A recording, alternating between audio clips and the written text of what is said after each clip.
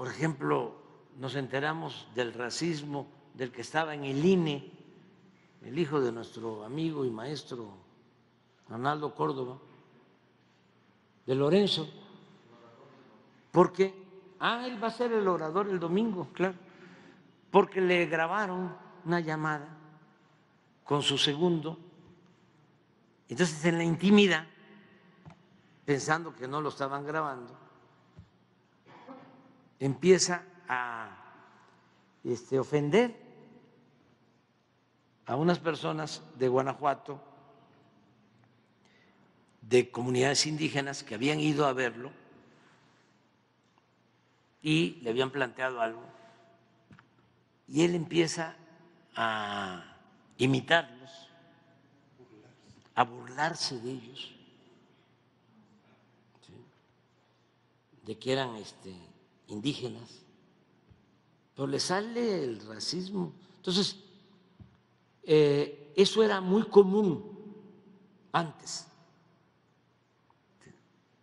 La doble moral, el doble discurso, la hipocresía.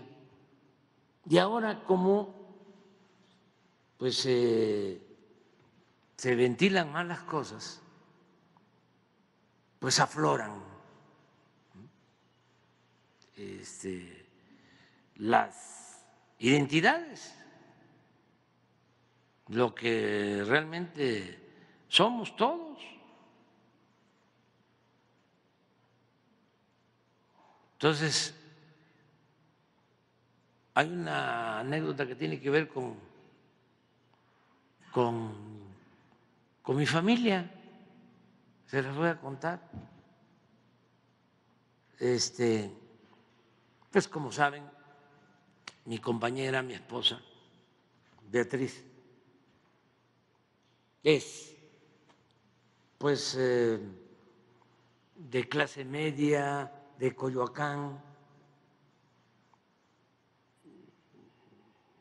de familia, este, vamos a decir, aristocrática, no necesariamente rica, porque es distinta la oligarquía que la aristocracia,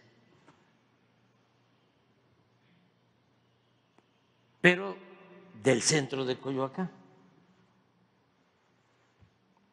su familia. Entonces, eh, además,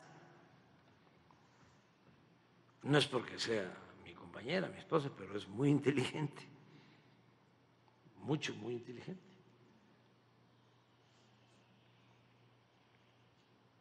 Eh, doctora en letras, escritora, investigadora, nivel 2.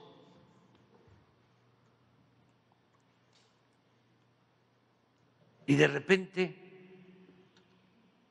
eh, como es una familia conocida, Gutiérrez Canet, Coyoacán, se encuentra el cronista de Coyoacán, no sé si es el mismo, ¿eh? además, si es el mismo, yo le ofrezco disculpa y que no se preocupe, ¿eh? que yo entiendo perfectamente estas cosas se encuentra el cronista de Coyoacán, que ya me imagino ¿no? su pensamiento, con el tío de, de Beatriz. Y le dice, oye, qué gusto verte. Qué inteligente, qué inteligente, Beatriz, que la conocí, niña. Qué inteligente, qué inteligente, qué inteligente. Pero lo que no entiendo, ¿cómo fue que se casó, se emparejó con este hombre?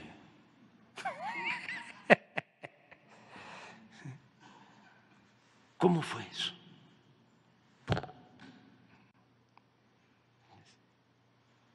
Pues sí, como dice Aguilar Camín, ¿no? Que él es de Chetumal, yo soy de Tepeitán, pues, este, eh, provinciano, aldeano, naco. Bueno, eso es bastante común, nada más que antes se ocultaba, se ocultaba y ahora sale. Y qué bueno que se abra este debate. Porque, por ejemplo, yo sostengo que los europeos no nos trajeron la civilización, que en México florecieron grandes civilizaciones hace miles de años. Bueno, yo sostengo que no hay razas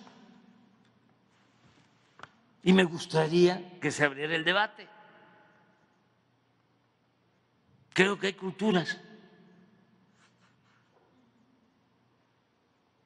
Y sostengo que México es una potencia cultural en el mundo por su pasado,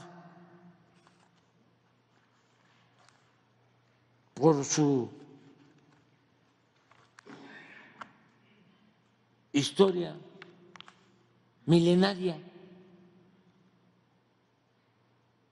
por el México profundo, por la civilización sometida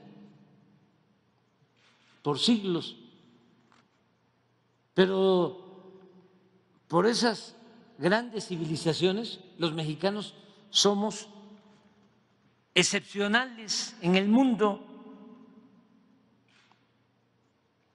Son muy pocos países los que tienen la grandeza cultural de México.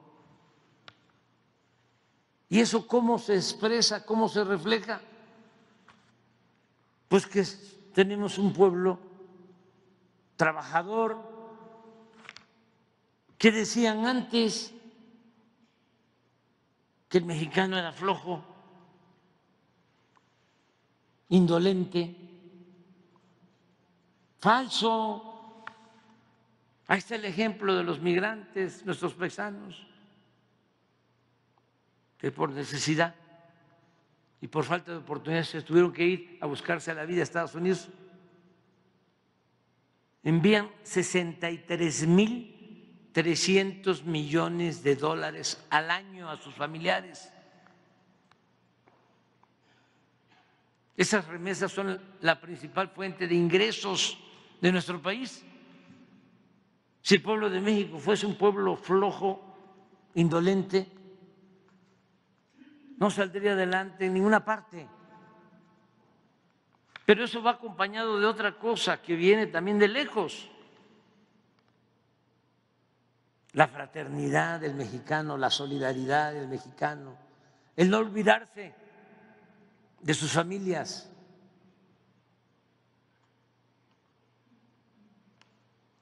Por eso la grandeza cultural de México. Nos debemos sentir orgullosos de ese pasado fecundo, extraordinario, glorioso. Entonces es bueno el debate. Entonces, oye, ¿por qué me sales clasista? A ver, ¿cuáles son tus argumentos? ¿Por qué me sales racista? ¿Cuáles son tus argumentos? ¿Por qué si vienes del pueblo, desprecias al pueblo.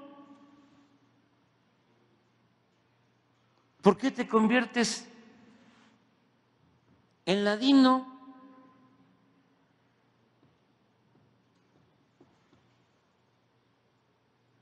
¿A qué le tiras? ¿A poco no está bueno el debate? Abrir el debate sobre esto. Vámonos a desayunar.